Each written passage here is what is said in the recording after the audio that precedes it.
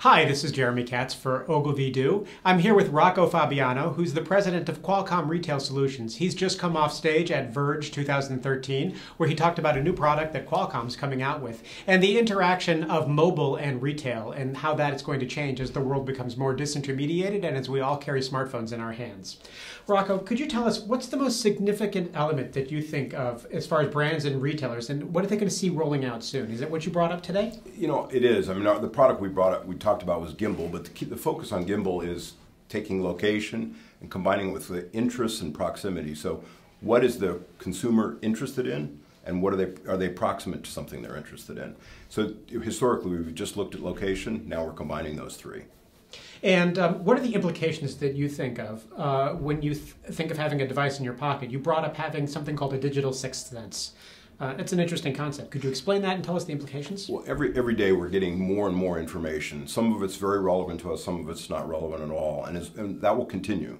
And so what we need is a device that helps us manage that information and focus on really, really delivers to us what we're interested in and filters out what we're not interested in. And when we say of a digital sixth sense, what's what your senses do for you? It helps you to know, understand your environment, interact with your environment, and filter out the information that's not relevant. And how does the technology then help you do that? The phone basically does that. The sensors on the phone, the fact that it understands, learns about you, understands what you're interested in, what you're not.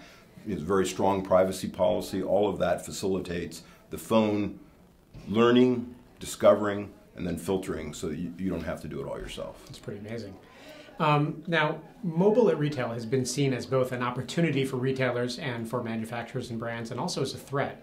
Um, can you explain that a little bit? And how, how, does it how does it work as both an opportunity and as a threat? And where do we go from here? You know, I, I think it is both an opportunity and a threat. I think the threat has gotten much more publicity than the opportunity side. I mean, there's still, you know, depending on what study you see, there's $15 spent in store for every dollar spent out of store.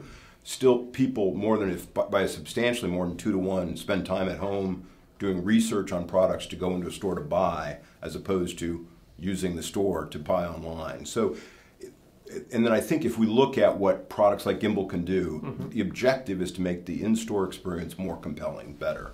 And I think that even better positions the store to compete against the online seller, if you will, because if the consumer has a unique experience when they're in store, learning, doing things they can't do at home on their laptop, that, that positions the retailer to be much more effective in that, in that competition, if you will. Well, thank you very much for coming by today. Um, this is uh, Ogilvy TV, Ogilvy Do TV, and we're talking with Rocco Fabiano, who's the president of Qualcomm Retail Solutions, and they have a new product coming out called, or new solution coming out called Gimbal, which will address the interaction of mobile and retail. Thank you. Thank you very much. much.